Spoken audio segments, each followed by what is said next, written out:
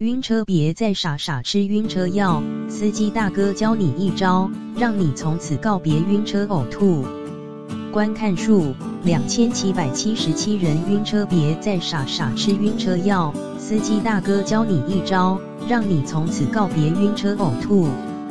生活中有很人都是晕车一族，作为一个爱晕车的人，小编可是受过不少罪，一路上颠簸还要忍着一股难闻汽油味，那种晕车的滋味别提有多难受，最后只好每次坐车都吃一颗晕车药来缓解。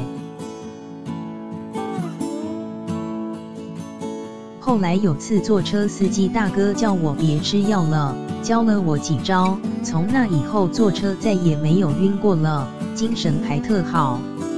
接下来，小编就把这些小妙招分享给晕车的朋友，不吃药也能解决晕车的状态。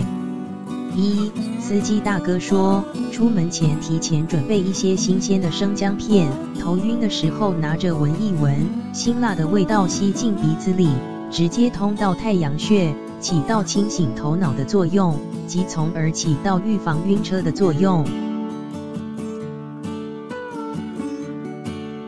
要是比较严重的，或者什么也没有准备，还可以按摩内关穴，它在腕关节掌内侧，多按这个穴位，可以缓解心悸、胸闷、胃痛、呕吐等病症。多按这个地方也可以很好的防止晕车的现象出现哦。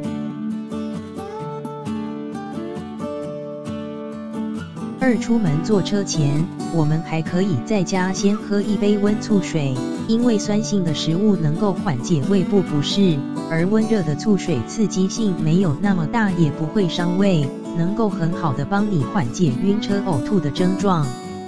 你也可以用保温杯带一些在手上。在车上觉得有点反胃或是不舒服的时候，喝两口压一压，效果很好的，坐车就不会晕了。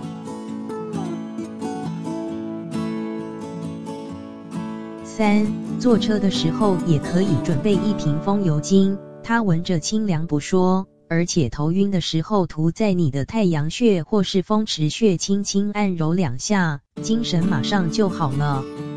喜欢吃橘子的朋友，橘皮可是好东西哦，它也能很好的缓解晕车的症状哦。只需将新鲜的橘子皮含一小块到嘴里，或者放在鼻尖处闻，就能缓解头晕呕吐的情况了。